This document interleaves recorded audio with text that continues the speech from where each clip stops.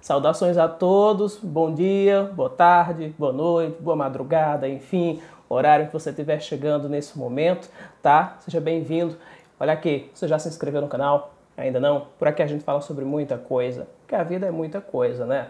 Então, fique à vontade, inscreva-se no nosso canal, acione o sininho para receber todas as notificações, tá bom? A gente vai falar sobre a noite histórica do SBT e, claro, também, né, o coração pela boca é, dos palmeirenses.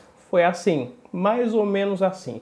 Uma explosão de audiência que levou o SBT à liderança, batendo inclusive a Globo por quase 50 minutos na transmissão e também os palmeirenses com o coração querendo pular por tudo que é canto do corpo, né? Bem, gente, é o seguinte, primeiro eu vou trazer para vocês aqui como é que foi a audiência do jogo, né? A gente vai trazer momentos antes do jogo e também momentos durante o jogo, tá? E aí, claro, o resultado preliminar da média de audiência, tá? Muito bem, vamos começar aqui a partir das 8 horas da noite, tá? É, às 20 horas, mais ou menos, ali, 8 da noite, né? Portanto, uma hora e meia antes do jogo, gente, de Palmeiras e River em São Paulo, é, a Globo aparecia com 25,5 pontos de audiência. A Record estava em segundo lugar com 7,1, o SBT aparecia com 6,1, ou seja, em terceiro lugar, e a Band aparecia com 4,6. Isso às 8 da noite, tá bom? Bem, agora dá uma passadinha 12 minutos depois, tá? Mais ou menos ali por volta de 8 e 12 da noite, tá? Olha, a Globo estava com 25,8, a Record com 7,1, ou seja, se mantinha né, a Record. Uh, o SBT oscilou positivamente, foi para 6,2 e a Band ficou com 4,3. Aí, gente, é o seguinte, a gente avança alguns minutos aqui e vocês vão ver que à medida que uh, o jogo vai se aproximando, a audiência do SBT, mais uma vez, assim como na semana passada, foi crescendo também. Às 8h40, mais ou menos ali, é, a Globo estava com 25,7 pontos, a Record estava com 9,3 e o SBT já aparecia com 8 pontos de audiência. A Band tinha caído para 1,5, ou seja, 1,5 ponto, tá bom? Bem, agora avança mais um pouquinho mais ou menos meia hora antes do jogo, por volta de 9 horas da noite. Olha só o que é estava acontecendo aqui às 9 e 3 da noite, para ser mais específico. Né? A Globo aparecia com 27,1 pontos de audiência. A Record estava com 10,3 e o SBT aparecia com 8,6. A Band fechava esse top 4 aí com 1,3 ponto. Pessoal, é um minuto antes de começar o jogo, nessa terça-feira, agora dia 12 né, de janeiro, o SBT passa já para a vice-liderança. A Globo aparecia com 28,8 pontos, o SBT com 11 pontos, a Record com 10,4 e a Cultura com 1,1. Importante citar que nesse horário a Globo transmitia o Jornal Nacional, o SBT estava ali prestes a começar a partida, tá bom? E a Record estava passando Amor Sem Igual. Agora, vamos para as 21h34. E aqui, ou seja, 4 minutos depois de começar o jogo da Libertadores entre Palmeiras e River Plate. Olha aqui, gente. A Globo aparece aí com 28,8. O SBT dá um salto, vai para 13,7. A Record fica com 10,1 e a Cultura com 1 ponto. Dando um salto um pouquinho maior aqui, às 9h40 da noite, portanto 20 minutos, é, é, é, 10 minutos de transmissão, perdão, da partida, né? 10 minutos de transmissão da partida lá no SBT. A Globo aparecia com 27,9, o SBT com 14,6, a Record com 8,3 e a Cultura com 1,6. O SBT já tinha subido mais a sua audiência, encostando nos 15 pontos, né? Agora, gente, a gente vai dar um pulo para as 21h49. Às 21h49, aqui a Força do Querer, novela das nove da TV Globo, já estava no ar. A Globo estava com 26,4, o SBT com 15,7, a Record com 10 pontos e a Cultura com 1,6. Avançando um pouquinho mais, ou seja, dois pontos, né, ali, do, do, dois, é, dois minutos, né, para ser mais exato, né, dois minutos a mais ali, né, no, no tempo, a Globo estava às 21h52. A Globo estava com 26,9. O SBT já aparecia com 16 pontos. A Record com 10,1. A Cultura com 1,6. Às 10h05 da noite, gente, é o momento em que é, o SBT já começa uma reação mais forte. Porque a Globo, exibindo ainda né, a novela das nove, aparece com 27,1 e o SBT encosta nos 18 pontos, marcando 17,9. A Record está com 7,1 nesse momento e a Cultura com 1,5. Agora, gente, veja só, se aproximando ali do finalzinho do primeiro tempo do jogo, que terminou por volta de 10 e 20 da noite, primeiro tempo do jogo, é, às 10 e 17 da noite, para ser mais exato, a Globo aparecia com 26,2, ainda transmitindo a novela das nove. O SBT já dava um salto para 19,4 pontos de audiência. Lembrando, esse número já era maior que o outro recorde anterior é, no jogo do Palmeiras que o SBT conseguiu. É, a Record aparece com 6,3 e a Rede TV com 1,5. Gente, a partir desse momento, quando a Globo voltou do intervalo, ela ficou cerca de 40 minutos exibindo a novela sem ir para o intervalo. Foi uma coisa inédita né, nesses últimos anos aí. Eu não lembro de algum momento em que a Globo tenha utilizado uma estratégia assim. Geralmente, é, cada parte ali da novela tem algo em torno de 10, 15 minutos no máximo, mas 40 minutos sem abrir intervalo foi uma estratégia da Globo justamente para frear essa audiência do SBT. Então, olha só, as, a gente vai aqui para as 10h46, vamos evoluir para as 10h46 da noite. Era um momento ali que a novela da Globo estava chegando ao fim. Não tinha chegado ainda, mas estava chegando ao fim. Olha o que, que acontece. A Globo estava com 28,8 pontos, o SBT já estava com 20,1 pontos, essa já era a maior audiência nos últimos anos do, do, do, do SBT, exibindo, no caso, esse jogo aí do Palmeiras. Né? Avançando 6 minutos mais, olha aqui, às é, 10 horas 58 minutos. Veja só é, como é que a situação está. É, às 10 é, às 10h52, né? Veja só, 10h52, tá, gente? Veja só o que, que acontece. A Globo está com 24,8. Aqui a novela já tinha terminado e tinha começado é, A Cor do Poder, né? A série que está sendo exibida agora na Globo. Então a novela tinha acabado há poucos minutos e a Globo já estava com 24,8 e uh, o SBT já estava com 21,3. Perceba por que a Globo estava esticando a novela, porque ela sabia que perderia público precioso nesse momento de transição. E aí, é, quando nós chegamos aqui, pessoal, às 22h58, portanto às 10 da noite, 58 minutos, e a informação é que às 10h55 o SBT já estava na liderança, Olha só os números das 10h58. O SBT estava com 21,5 pontos de audiência, a Globo com 20,3. Portanto, o SBT já estava na liderança. E a informação de que às 22h55 o SBT já estava nessa liderança. Vamos lá. Às 11h10 da noite, presta bem atenção como os números aparecem. O SBT é, aumenta né, esses números aí, estica um pouquinho a liderança o SBT às 11h10 da noite vai para 22,3 pontos de audiência. A Globo fica com 18,6 pontos. 10 minutos depois, às 11h20 da noite, o SBT está marcando 22,6 pontos, né? E a Globo cai para 17,1 ponto, exibindo já a série que eu te falei, tá certo? A Cor do Poder. E aí, gente, às 23h26, próximo, portanto, do fim da partida. É, o SBT está marcando 22,2 e, e, e, a Globo está marcando 16,3. A partir desse horário, geralmente, uh, o número de televisores ligados, a audiência vai caindo realmente porque a gente vai elevando o horário, né? vai ficando mais tarde. Então, nesse caso aí, de acordo com os dados prévios, né, é, o SBT ficou com 19 pontos de média. Isso de acordo com os dados prévios, tá bom? 19 pontos de média e atingiu 23 pontos de pico. Gente, essa é a maior audiência do SBT nos últimos 11 anos.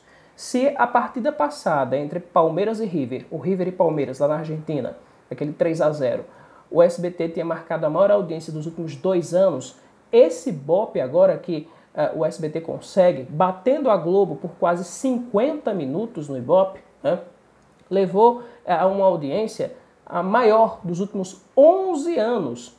É, a última vez que o SBT conseguiu alguma coisa parecida foi quando ainda exibiu o programa com o Gugu Liberato. Há muito tempo né, que o Gugu, é, inclusive, trabalhou no SBT, né, falecido Gugu Liberato. Né? Bem, gente, então aqui são os números para você. E como é que foi o jogo? Né? Bem, o jogo é o seguinte, gente. Ó, o jogo começou como já se esperava. Vamos para a parte do jogo agora, né? Porque o River, ele iniciou no estilo dele, não tinha nada a perder, é um estilo campeão, um estilo vencedor, há muitos anos, chegando nas finais, vencendo várias, inclusive na Libertadores, é visto como o melhor time da Libertadores, com um dos melhores técnicos é, das Américas, então não ia mudar por causa disso, né, e precisando principalmente de três gols. Então o River inicia no estilo dele, e o Palmeiras tenta repetir a estratégia que adotou lá na Argentina, isso ficou claro ali, tá? O problema é que o Rony, ele tem a primeira oportunidade nesse jogo aí, que já mostra ser pegado, uma oportunidade clara de gol, e diferente do que aconteceu lá na Argentina, é, ele não guarda, né? ele sai cara a cara com o Armani, goleiro do River, e perde a oportunidade de matar a partida praticamente, porque se ele faz aquele gol, seria 4 a 0 para o Palmeiras no agregado, né? e aí fecha a casinha. Mas infelizmente ele não foi bem, não, não efetivou como é, é, deveria, ficou, méritos também para o Armani, por que não? Né? E a partir daí, gente, é, já observava que um Palmeiras nervoso, é, nervoso não conseguia colocar a bola no chão, começou a dar chutões sem objetividade. Aquelas bolas lançadas lá no jogo anterior contra o River, na verdade eram mais passes, não eram tão chutões, eram passes mesmo, bolas esticadas né, para um contra-ataque.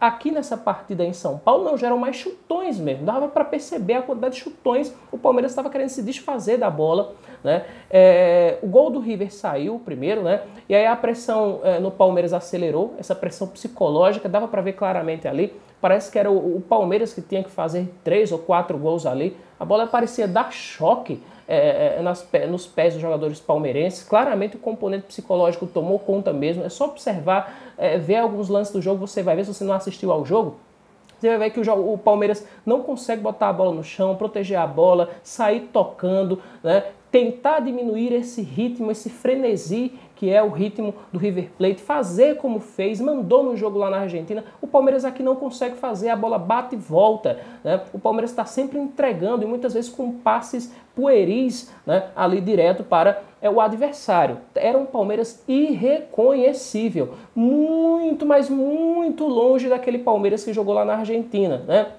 E o gol do River fez essa pressão aumentar, né? Aí veio o segundo gol do River, tá? E aí o Palmeiras parecia já sem pernas, gente, em campo. Tava inerte, como se fosse colapsado mesmo, né? Era um time é, com medo do que o River, Plate, o River Plate poderia fazer, né? e tinha esquecido aparentemente o que ele, Palmeiras, poderia fazer. Né? Afinal de contas, venceu o River por 3 a 0 com autoridade lá na Argentina, podendo ter feito mais. O Palmeiras parece que esqueceu então, deixou-se tomar pelo medo psicológico. É como se dissesse: nossa, os caras já já estão já com dois, daqui a pouco os caras fazem três. A nossa... Então, esse medo, essa questão psicológica atuou no corpo do jogador que não conseguia dominar a bola mais, não conseguia dar um passo, não conseguia parar, respirar, segurar a bola. Isso ficou claro ali, né? é, é, é poderia ser mais frio, né? Impor, impor, o ritmo de jogo, né? quebrar essa correria do River, mas o Palmeiras não conseguia.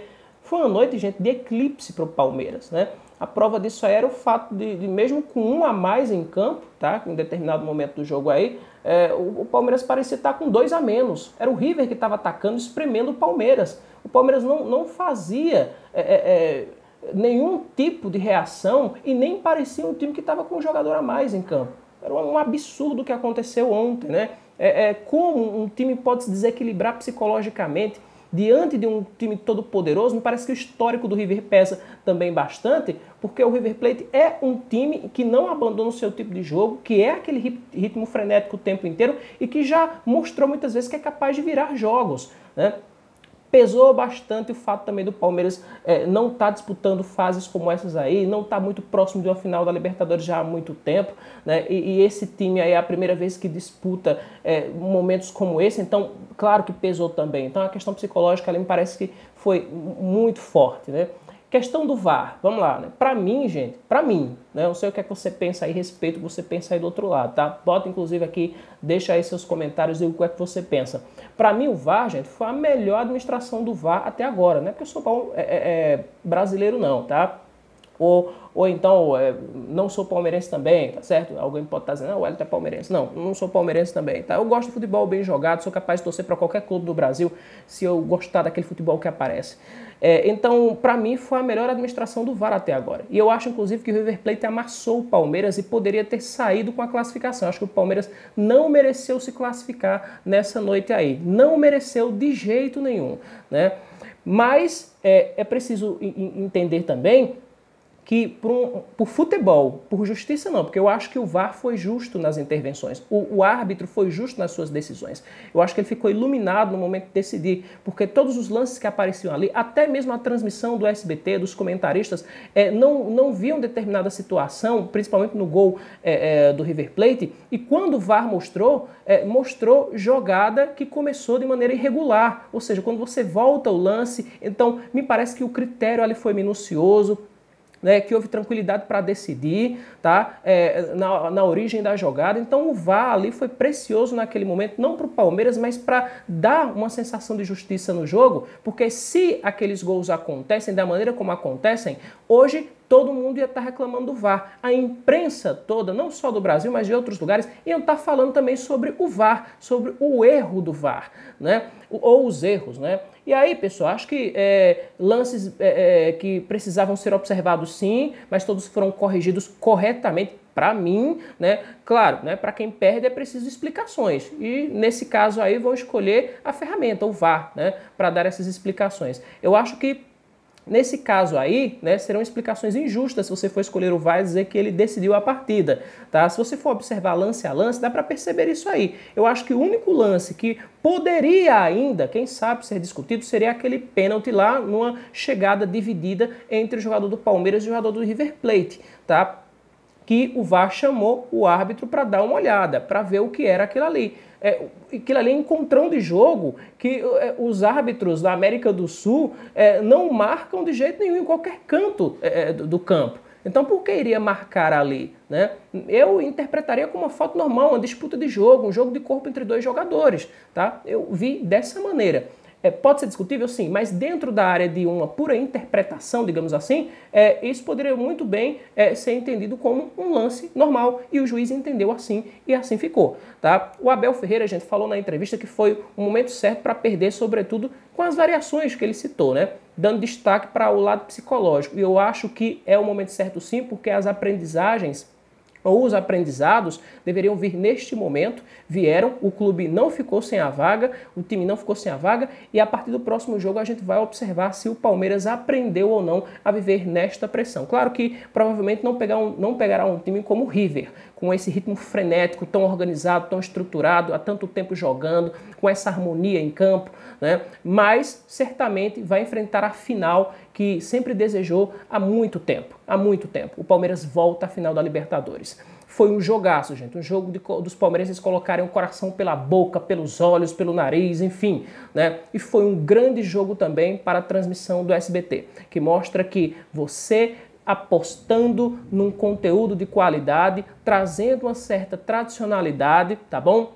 E o costume vai sim conseguir rivalizar com qualquer emissora e é bom que outras emissoras possam transmitir futebol, porque quem ganha é o telespectador. Que a Globo faça isso, que a Record faça isso, que o SBT faça isso, que a Band faça isso. Nós aqui do outro lado agradecemos porque poderemos escolher. Tá bom? Eu fico por aqui. Muitíssimo obrigado pela sua atenção. Mais uma vez, inscreva-se no canal e receba as notificações de mais vídeos. Tchau, até a próxima!